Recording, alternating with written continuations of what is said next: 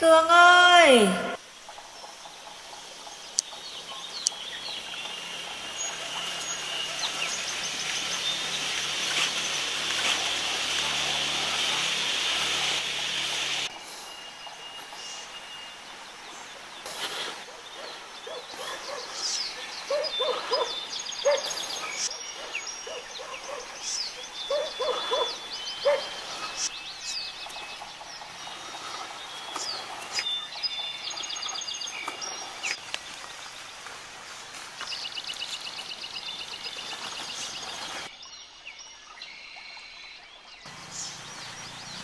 Cường ơi Anh Cường ơi!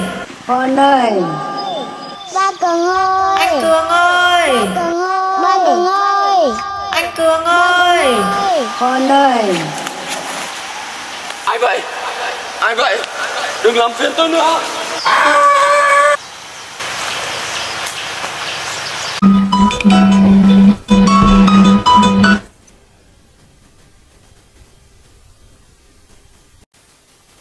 Và đây là Cường, thanh niên 31 tuổi. Cậu từng đi du học chuyên ngành tài chính tiền tệ. Nhưng do tiền tệ quá nên lại chuyển sang làm du lịch vì muốn đi nhiều nơi chụp ảnh.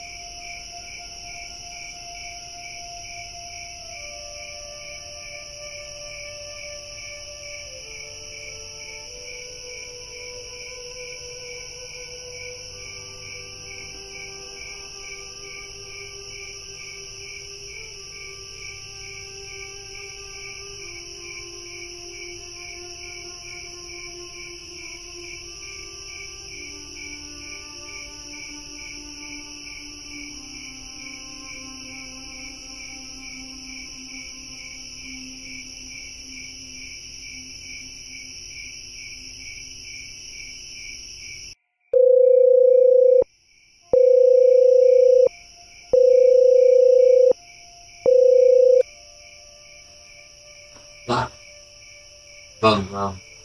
Dạ ừ, anh đi trên này mưa to hai tuần nay rồi. Chiều nay mình nắng cũng tí có 5 phút em chưa di chuyển được đến điểm khảo sát anh ạ. Dạ. Dạ không đi được không ạ? Đây không đến được đường mưa đường sàn nổ không đi được. Làm được thì xin nghỉ đi. Viết đơn bỏ việc đi. Bớt bệnh ngay đồ đi đi ăn cắp ở trên mạng ấy rồi lịch trình về cho tôi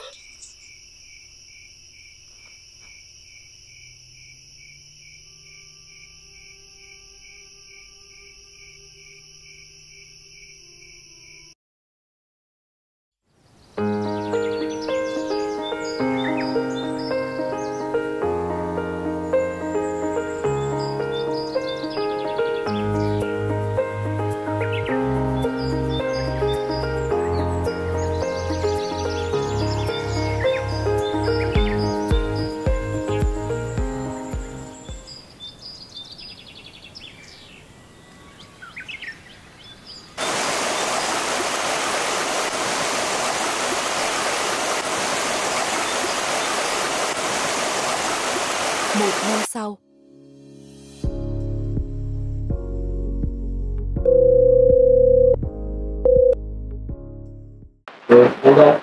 Alo anh Cường ạ, em gọi nhắc anh tối nay có lịch bay sang Nam Phi để tham gia chương trình photo bảo tồn động vật hoang dã. Và ngày 28 bay qua Indo tham gia triển lãm ảnh đạt giải lần trước ấy ạ. Cho dù bạn có lựa chọn con đường nào thì cũng phải vượt qua nhiều gian nan mới có thể đến với thành công. Với tôi, tôi lựa chọn theo đuổi đam mê của mình